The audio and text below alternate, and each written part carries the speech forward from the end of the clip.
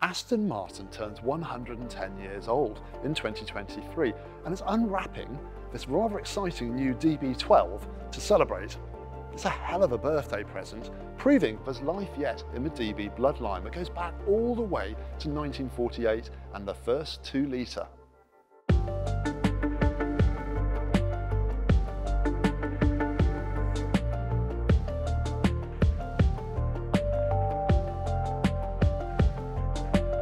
DB12 will go on sale in late summer 2023, replacing the DB11 as what Aston Martin ambitiously calls the world's first super tourer. It's the first in a new generation of Aston Martin sports cars, promising the usual style, performance and dynamics we've come to know and love, but with a newfound focus on advanced technologies too. Let's come and take a closer look. And to tell us more about the DB12, I'm delighted to say we're joined by Miles Nurnberger, who's the Director of Design at Aston Martin. Miles, thank you so much for joining us today. My pleasure. My pleasure. And I mean, this is the first time we've seen the car. It's a lot to take in. Tell us, very big question, but what were you trying to achieve? What was the brief to follow up the DB11 with? So yeah, you're right, absolutely big question. Um, this is, I would present this as our super tourer two big elements in it. One is performance driven, ultra luxury, two bits. Performance driven, we'll talk about that a bit more in terms of cooling and everything like that. In terms of ultra luxury, we have made a massive step change on the interior of our cars. Right, and the face, I mean, look at it, we've got a lot going on here. The the grill is really big, and I understand the sort of the cooling area yeah. is 56% bigger. Now, not necessarily the grill's 56% bigger, but yeah. the, cooling, yeah. the cooling available to the car is important for the engine, but that's a big grill. Talk us about, talk us through this. Yeah, big, big step in performance for the car. So the grill, the cooling becomes far, far more important. The grill is um, probably one of the largest grills that's been on a DB actually it's very reminiscent of DB5 in terms of the proportion to the sort of eyes, grille, overall mass of the car. Um, there is a little bit of DB5 coming through.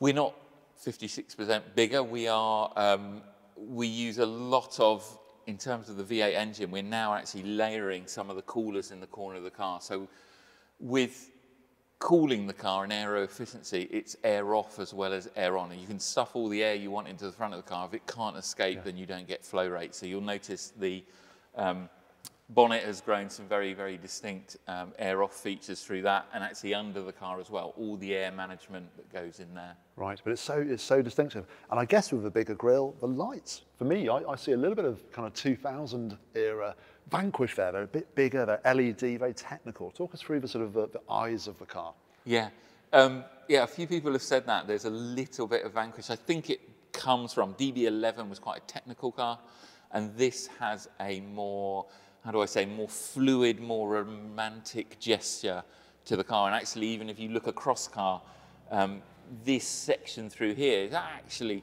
there's a little bit of 2000 Vanquish, but there's also a bit of DB5 going on there. It goes to more, that more um, sensual, traditional Aston nature. Yeah, and 75 years of DB, what a heritage yeah. to draw on. I mean, the, the DB4 as well, actually, with that grille, you know, the sort of the GT uh, cars and what have you. And speaking of heritage and history, the badge is a little bit bigger. This is the first application of the new Aston Martin badge, I Yeah, so we introduced our new corporate identity, hmm, probably it's a bit over a year now, but this is the first car to wear the new badge.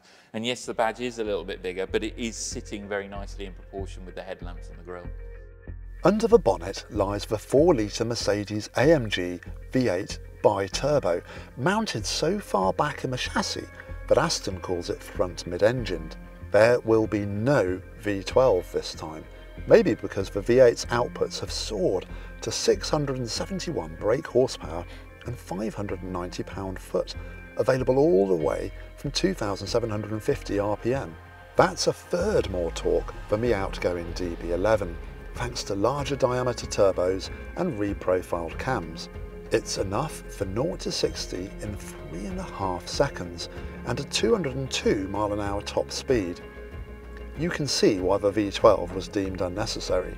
The V8 sends drive to the rear wheels through an 8-speed ZF automatic transaxle at the back, and there's Aston Martin's first electronically controlled rear differential too, which can go from fully open to 100% locked in milliseconds. So round here we've got the very identifiable Aston Martin side strake. Yeah. This is a sort of a long-standing design feature of the side of your cars, is that right? Absolutely, yeah. I mean, you, you can read it back into history a very, very long way.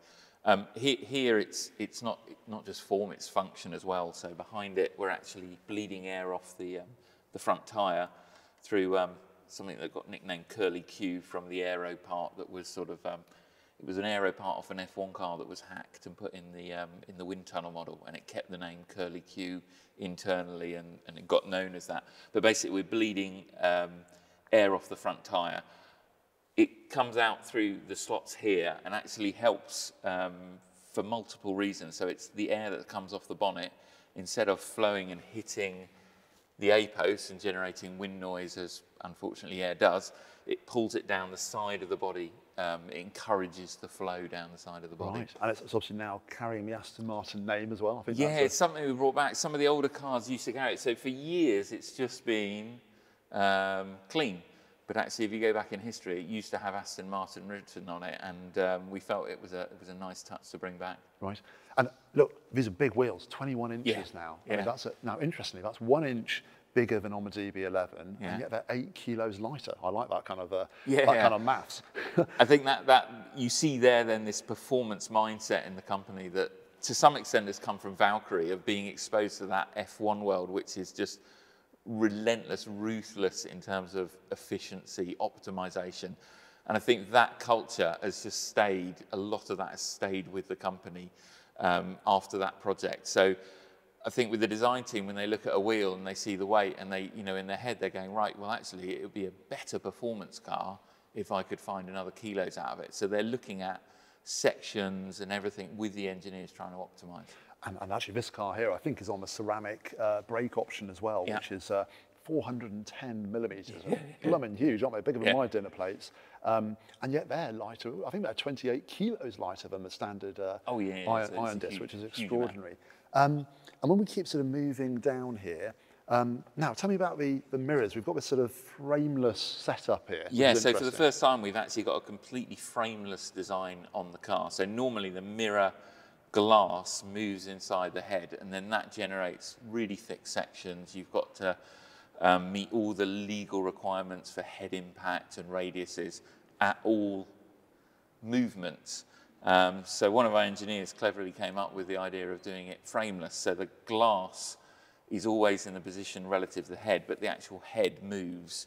Um, what that means is actually this car overall is narrower than its predecessor, which is very, very rare in the world nowadays. Almost every car that gets launched gets wider and wider and wider. Actually, the overall width, you know, the old mirror used to be about out here. So frontal area of the mirror, aerodynamics of the mirror are improved. That's, which is a fantastic thing, and I believe it's about five millimetres shorter. So this is a rare Yes. occasion. Like, Yes. Yes. slightly on a diet. Fantastic. And moving down here, now obviously this car is, uh, I think, got the sort of carbon pack Yes. on. So talk us through how it's um, how it manifests itself. So we've got, um, for the carbon pack here, you can see the mirror, what we call the mirror scalp, um, the, um, what's known as the cant rail um, in carbon fibre, and then at the rear of the car, you've got the lower splitter and the bumper area all in carbon too. On the lower part of the car, you'll see this extra splitter down the side, and also on the front corner, there's an additional splitter. So that, that makes up all the carbon And, elements. and these would be an optional extra. This is Yeah. not on top. So this is quite a high spec car. Yeah. And we've got pop out door handles, I see, as well. Just a bit flusher or No, no, no. I mean, we've, we've uh, you know, we've been much copied in this area, but actually Aston have had beautiful flush door handles uh, of um, uh, this format for a number of years. It was something that was pioneered, and um, and we've kept with it.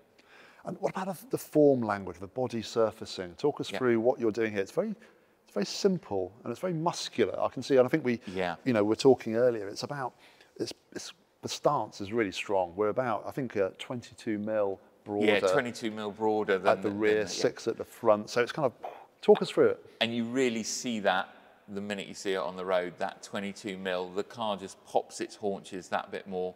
Um, all the feature lines, you know, this is just, you You know, it's, it's about the little subtle things. This line just pointing to the top of the tyre, the mass of the pillar here. This sits directly over the rear wheel. They're all little touches in terms of getting the proportion of the car right. And when you do, the car just, it plonks yeah. down on the road. It really sits and, I mean, standing here as I am, yeah. crikey, that rear, yeah, that, rear, that rear haunch is very haunchy indeed. I, I think the fuel tank 78 litres, so you've got a good touring range on the car as well. And then let's move around the back, Miles. Let's come and have a look around here. Talk us through what's going on here. We've got the signature Aston Martin wraparound lights I can see. What were you trying to achieve at the rear? I, I think it's, it's really a carry through of what we talked about on the uh, on stance. So rear of the car, what are you trying to do? You're trying to get the car to be look as slim and as wide as possible, and those wheels, you know, really sitting out to the edge of the car, sitting the rear end. So when you follow it, it's just it's got that, that, that look to it. Which you can, which you, I mean, standing yeah. here, you really, really see yeah. that bigger badge again. I understand um, the bodywork, the panels are essentially composite and aluminium. Yeah, the, the, the, car in general is that mix, and you see that again on the rear. Yeah, and and it's based on the the sort of the latest iteration of the Aston platform, so it's extruded and bonded aluminium. Yep stiffer, 7% more torsional rigidity. Great yeah. for the... Um... And, the, and the big change that happened between the first generation of that bonded aluminium is, is there are a number of pressings in the car, and that was basically, there's moments where an extrusion, although super efficient in terms of strength manufacturing, is not good for package space. So in key areas when we were going through this generation of car, we swapped to some pressings to basically eke out those last millimetres. A bit more, space. And coming around here, we've got this wonderful, the um, Aston Martin aero blades. Talk us through the aero on the car, it's very clever how this works. Yeah, it? yeah, it was, a, it was a very unique system. So um, inspired by design and aero team really together um, from F-Duct in Formula One. Uh, and it was just looking at how do we keep, you know, there's this beautiful silhouette to the car, almost a bit 1970s. You know, there's no big wing on the back of it to get its aero performance. So it's actually taking air through what's called the, the C duct here, channeling it through, through a duct that if you open the boot, you'll see, and basically out of two sections through the rear here. It generates a blade of air that is roughly a meter high out of the back of the car. Um, why do we do it? It's to give rear end stability, downforce, um, but with almost zero drag. So normally, whenever you add downforce, you add lots of drag. But because it's a, a blade of air rather than a physical wall, yep. mm. there's, there's almost no drag. And you mentioned, I mean, the sort of space on board. And if we look in here inside the boot, you can see actually it's 262 litres. It's a bit bigger than you might expect on a car like this. Yeah, yeah. I think it surprises people sometimes quite how much luggage space you can get in there. Plenty enough for your shopping. Right. actually, we haven't yet mentioned uh, the, the, Michelin uh, Pilot Sport 5 um, tyres, which is the first application yes. um, anywhere on any OEM, which is interesting. I mean, these are proper AML badges say that this is uh, tuned for the DB12. And I think, you know, that, that again clearly shows the performance credentials this car is uh, gunning for. Yeah, and one of the things I've noticed they have, there's a polyurethane layer built into the carcass to make it a little bit quieter. They claim 20% less noise, and that's important for a super uh, tourer, isn't it? Yes, so you know we're looking for performance, but with a super tourer, you must have refinement. It must be a very nice place to sit and, and travel a, a, potentially a long journey in. Also new are the Bilstein DTX adaptive dampers, said to have five times the bandwidth for improved response and the ability to flick from sports mode to Comfort GT at the push of a button. So Miles, the interior of the DB12, it feels more different than the exterior if I'm honest. Was this a deliberate thing? Oh yeah, absolutely. It's it's a massive change. It's all new, basically.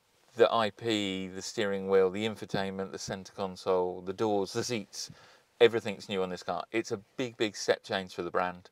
It's a big investment in the brand.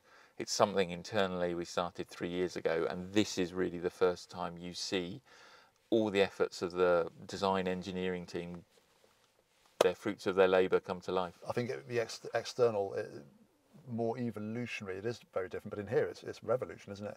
Is that reflect the fact that the DB11 was feeling a little bit tired inside, do you think? Yeah, and I think in if I go back and you know honestly speaking, in those days, I don't think we had the the right level of investment. I think now you see it. You know, the screens in the car will be the highest definition, highest contrast screens available on the market when this car launches in a few weeks. And that that really shows that level of ambition. So that screen technology. I think saying that, you know, the, the technology is really layered into the car. We've also put a big emphasis on the tactility of all the controls. So, you know, you have this beautiful knurling on the temperature control. It's really important for us to balance those two elements. Now, it's interesting looking at how the technology presents in here. It feels as if it's not overbearing. Some cars you get in now, and they've got full width digital screens, not in the DB12. Is that a deliberate move? Yeah, absolutely. I think the the interior design team really really wanted to layer the technology in. So again, it's not screen first, you know, the craftsmanship is there, the overall theme of the car is there, and then the technology sits within that. Finding that balance in the layers, and it's really important. It is you know, our cars are very tactile objects. We all have a phone in our pocket. That technology is expected and essential, but actually where we make a difference is also in this tactility of all these functions how you as a driver you know we talked about performance earlier. It's also about the human performance and how you interact with your car. So it's making sure that all these things are to hand and that your experience of driving is the best you can find. I think it's very clever how you've even managed to repeat some of the, the graphics uh, from previous earlier aston martin so i remember the mid noughties mid to uh, mid to early noughties uh, yeah. when the Vantage came out, the rev counter, the calibration on it, yeah, yeah. to me really speaks volumes to what I'm seeing here with a. And you can do that with a digital touch point, yeah, you? Yeah, yeah, you can. You can do. I mean, you can do. It's it's difficult because actually you can do whatever you want. But yes, it does just pick up on um, what we call the chaplets, the little chaplets that came from that car. And the new infotainment system is Aston Martin's own. This is significant. The days of having Volvo systems, Mercedes systems, are over. This is your own in-house proprietary setup. Very, very high-res screen. I think it's sort of over 1900 pixels um, sharp, and it's a 10 and a quarter inch screen. Yep.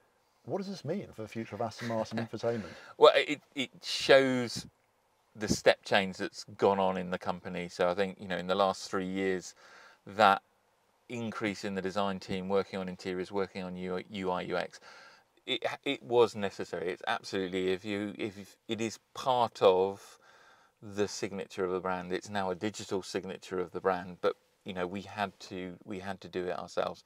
It's a big undertaking to do it, um, but integrating it, having the brand experience, it's essential.